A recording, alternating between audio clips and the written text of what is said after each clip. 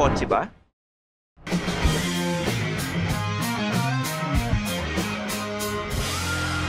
Feel kotse na.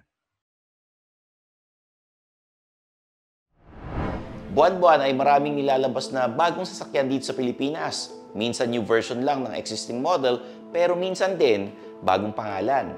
Sa dami ng nagiging options mo, nakakalito na. Ano nga ba talaga ang maganda? Siyempre, kung may previous car ka na, mas madali at marunong ka nang pumili ng sasakyan. Pero para sa mga first-time buyers, marahil nalilito ang mga yan.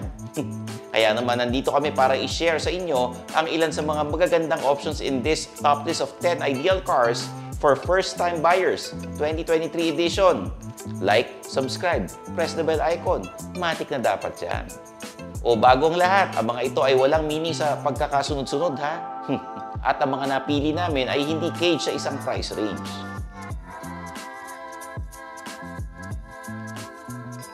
Number 1, Toyota Race. Ang presyo, 751,000 pesos hanggang 1,051,000 pesos. Una sa ating listahan ang Toyota Race. Marami kasi sa mga first-timer gusto mataas ang view sa kalsada. Ang karamihan sa atin dumadaan sa lubak-lubak, kaya naman importante ang mataas na ground clearance. Covered yan ng race at marami pa. Very responsive ang throttle nito in either the 1.2 or 1 liter turbo configurations. Samahan mo pa ng modern amenities like digital gauge cluster, blind spot monitor at talaga namang madadalian ka imaneho itong race.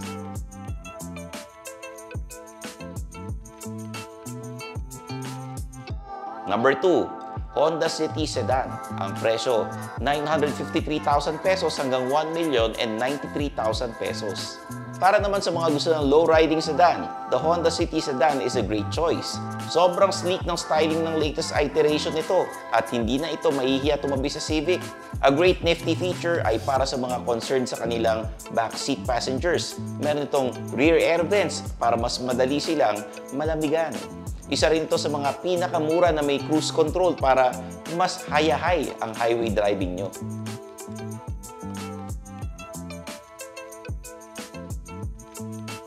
Number 3, Toyota Avanza na may presyong 833,000 pesos hanggang 1,059,000 pesos. Marami naman sa ating mga first-time drivers ang may pamilya na. Kaya sila bibili ng sasakyan ay para mas madali na sila mag-travel-travel ng buong family, rain or shine. Para sa mga ganitong tao, merong Toyota Avanza para sa inyo. It has improved ride comfort, more space up to the third row, and may Apple and Android capability na rin ito para nasa touchscreen na ang waist ninyo. Hindi nyo na kailangan magtanong-tanong bawat kanto para makapunta sa destination ninyo.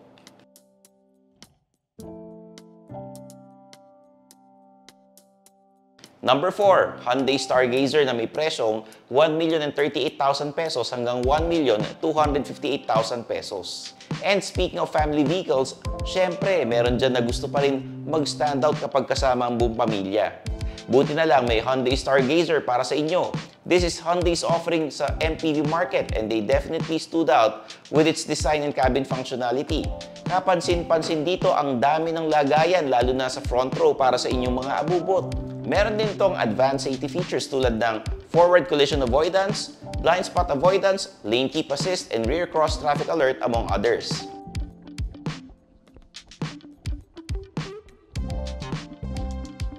Number 5, Geely Grand na may presyong 753,000 pesos hanggang 999,000 pesos.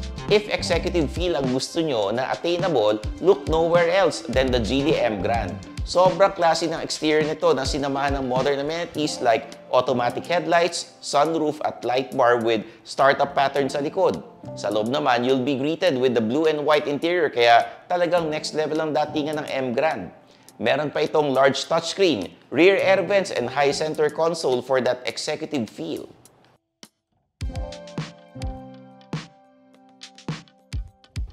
Number 6, Suzuki Swift na may presyong 972,000 pesos. Wala naman tatalo sa Suzuki Swift when it comes to fun driving experience at its price point. Small body, 1.2-liter engine, and very responsive steering. All combined for a great drive, lalo na kung madalas kayo sa mga kurbada. Hindi rin ito nagkulang with its safety features and amenities like Apple CarPlay, rear sensors, and rear camera.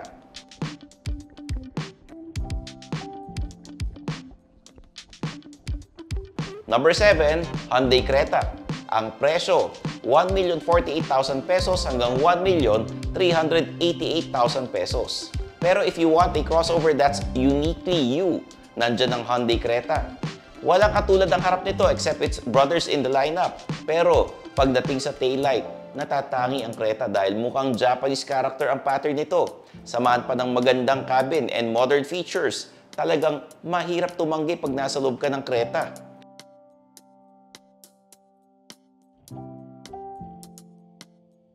Number 8, MGGT. Ang presyo, 1,015,888 pesos hanggang 1,193,888 pesos. Sa mga naghahanap naman ng sporty sedan na attainable, may solusyon na sa wishes ninyo thanks to MG.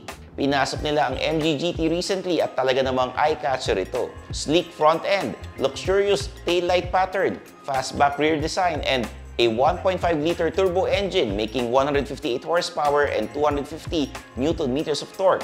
Siyempre, kumpleto sa Ricardo's ito when it comes to creature comforts kaya kung naghahanap ka ng maangas sa sedan, this might be the one.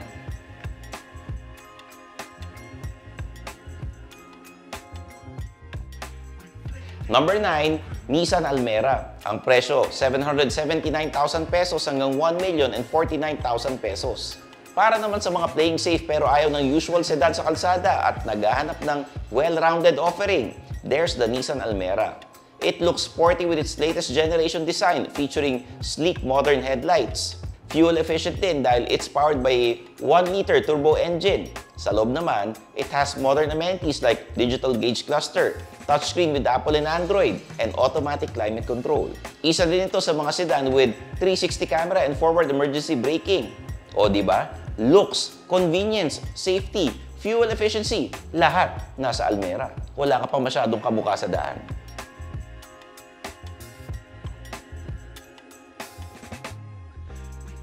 Number 10, Geely Coolray. Ang presyo, 1,083,000 pesos hanggang 1,299,000 pesos. Last in our list is another crossover, the Geely Coolray SE. Ito ay para dun sa mga gustong maramdaman ang binayaran nila. May panoramic sunroof, modern and unique design, leather interior, brushed aluminum trims, powered front seats at self-parking feature pa. Yun nga lang, walang Apple CarPlay na Android Auto pero may solusyon sa FB group nila. Ha? Ha? Ha?